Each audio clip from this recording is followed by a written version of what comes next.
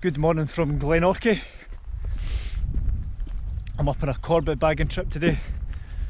I've got a nice circuit of two Corbett's to do. And I've also got my camping gear in the car, so if I can find a nice little quiet spot, I'm going to have a, a roadside camp tonight because it's the Monday bank holiday weekend. it's been a bit of an arctic blast this weekend some of the higher hills have had a dusting of snow and it's been down to freezing. It's been about 6 degrees today though, so it's, it certainly has a bit of a chill in there. Could be one of these days you get four seasons in one though, but uh, I'll see what it's like up in the tops later on.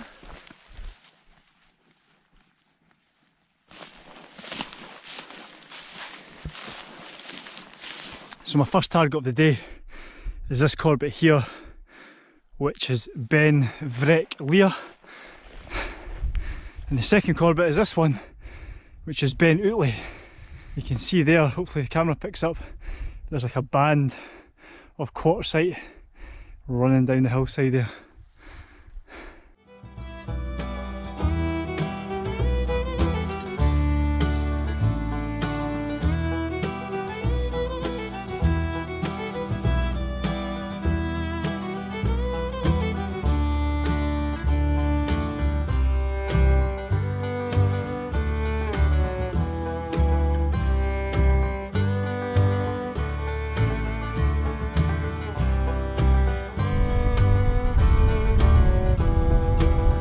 Right, once I get over this little rise here, I reckon I'll be presented with this long, flattish ridge, a nice easy walk over to the summit.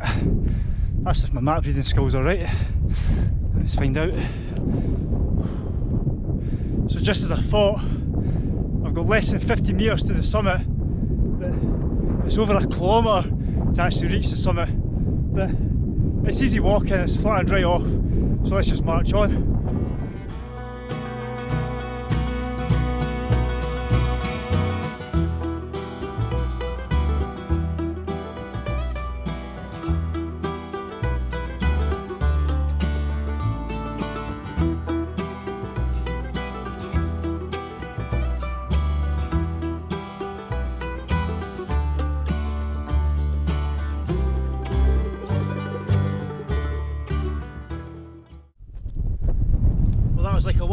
High street, nice and flat, got here in no time at all. So this is the summit of this this is the summit of Ben Vrek Lear. It's 802 metres. There's two cairns, this one looks the highest, but I'm going to touch that one anyway just to make sure.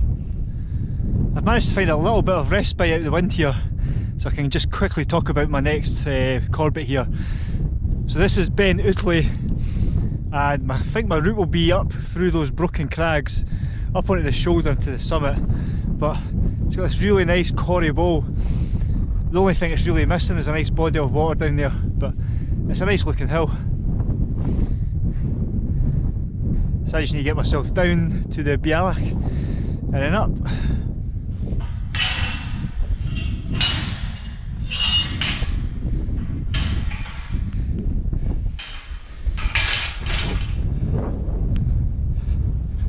Me off the first cord, but now. I'm actually making really good time, I need to slow down. If I'm feeling energetic, there is a, a Corbett on the other side of the glen I can do. Uh, it'd be another five hour walk, so I don't know, I'll see how I feel. Probably not though. I quite fancy just getting the tent up, and chilling out by the river.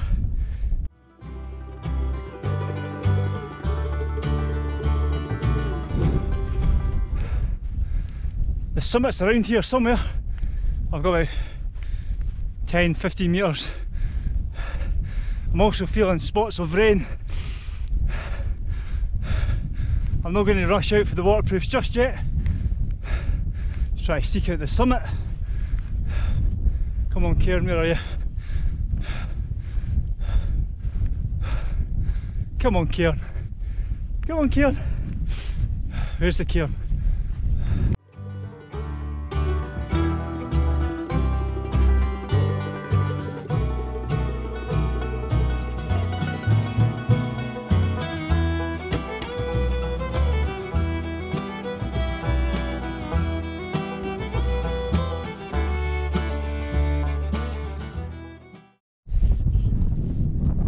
All fairness, I don't think that cairn marks the true summit.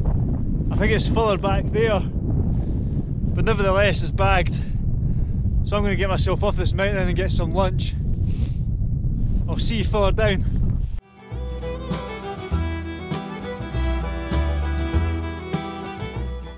This little walking looks pretty cool. It's almost like it's man-made at that side. That'd make a nice uh, wild camp just in there. Do you remember the band of quartzite I mentioned at the start of the video? Well here it is here. It runs right down here and it gets right craggy there and it must drop down the hillside because remember there's that big long ridge that I done earlier and I was coming up the slope so you could see it from that side so that's quite impressive. Here's this band of quartzite just to the other side, looks more impressive here. I think I dropped down this way anyway so see, I think we follow this down so we'll have a look on the way.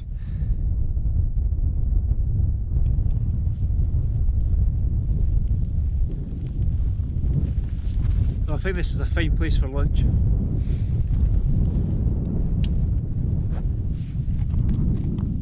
So for lunch I've got one of these tuna salad Mediterranean style pasta pots. I don't know why I buy them. I wouldn't even feed these to the cats. See if I fed these to the cats, would turn into that jog on. Crack open a Felix, eh? See when you first open these you just get that overpowering smell and it does smell like cat food. no mackerel wraps today. That's me fed and watered once again. And my route off this hill is basically following the band of quartzite down to the forestry there and then I think I just sort of skirt on the outside of the forestry back to pretty much where I started. So that shouldn't be too bad.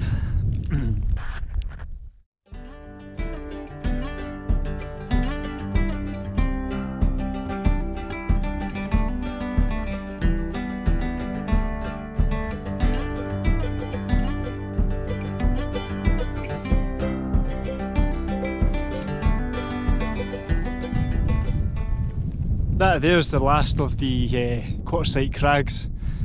It's came down in a straight line all the way from the summit. It's dropped about 400 metres. Pretty impressive. Almost like a natural Hadrian's wall. Well there is the path out. Am I glad to see that? Yes I am. This is quite cool actually, they've got a, a regeneration project here you can see they're all more native. And on the other side of the fence they've got the commercial plantation.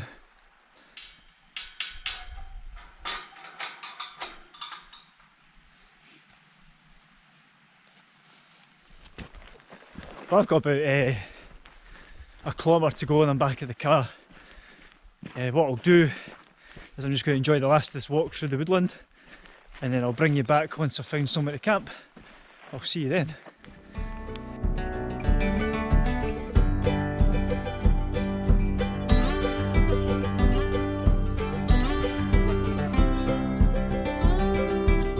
Well that's me pitched up as you can see.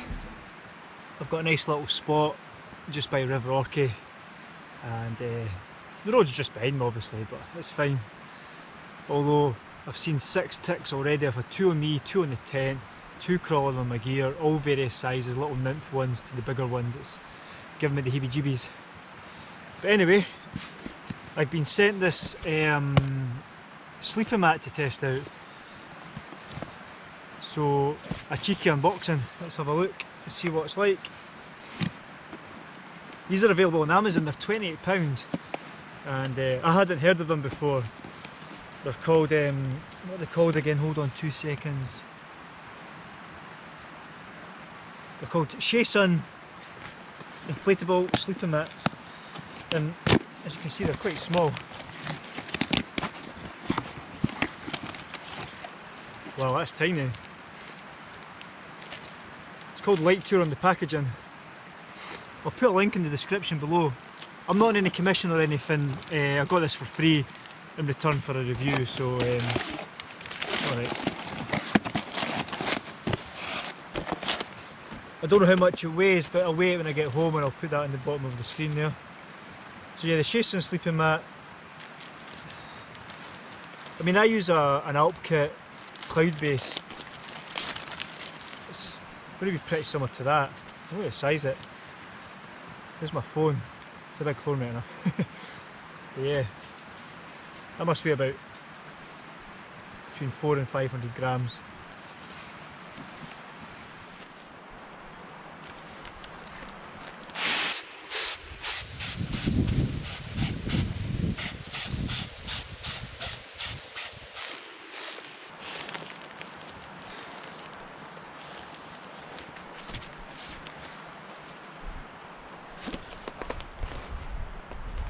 Thirty-two seconds. Well, first impressions, it's quite good actually. This is quite a, a good idea. It's not quite your egg box construction, but you've got these sort of V-shaped ridges. what I like about it is it doesn't taper at the feet, because I always tend to find my feet end up rolling off.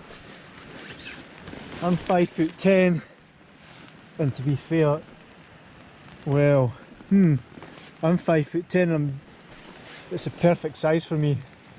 So unless you sleep with your knees bent, then if you're over five foot ten, it might just be a tad too small for you. But um, nah, it's alright. Like, just get some scran on the go now. I wouldn't waste any of my expensive freeze dry meals when I'm car camping, so I've got some bachelor's pasta and sauce and a tin of Tesco Spam. Spam Glorious Spam. So that's tea sorted. I've got a couple of cans of lager to wash it down as well, so it's quite peaceful here. Oh, it's good just having River Orchy just in front of me there. Listen to the football, but the, the result didn't go my way, so you can't win them all. We're in the money, we're in the money. I'll be ready in no time. I think I'm going to go to bed shortly. It's um, back at 10 at the moment. I'm absolutely paranoid about ticks, so I keep keep finding them everywhere. All different bloody sizes. I've I'll probably just sit awake paranoid and then go home tomorrow and check myself over. I'm usually okay, I don't have many attaching to me, but um, I'm not totally invincible to them. We'll see. The joys of uh, pitching in woodland eh? Anyway, I'm off to bed. Night guys. Good morning campers. Well that was a good sleep. Um, no wind at all and even with all the ticks trying to get in I wasn't too paranoid. This mat's really good. It's a bit slidey, but other than that, can't fault it, it's comfortable. Anyway, I've forgotten my mug, um, so I can't even have a coffee now. I suppose I could drink it my pot, but uh, I'm just going to go to the Green Welly, I think, and get something there. But anyway, thanks for watching, and I'll see you in the next one. Cheers.